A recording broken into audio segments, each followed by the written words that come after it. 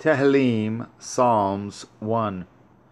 Blessed is the man that walks not in the counsel of the wicked, nor stands in the way of sinners, nor sits in the seat of the scornful.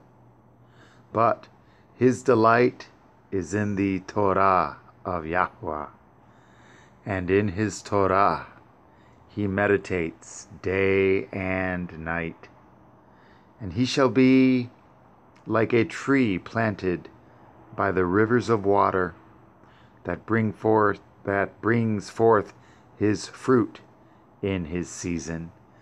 His leaf also shall not wither and whatsoever he does shall prosper. The wicked are not so but are like the chaff which the wind drives away.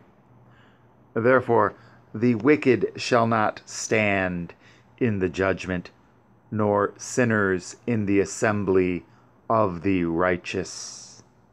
For Yahweh knows the way of the righteous, but the way of the wicked shall perish.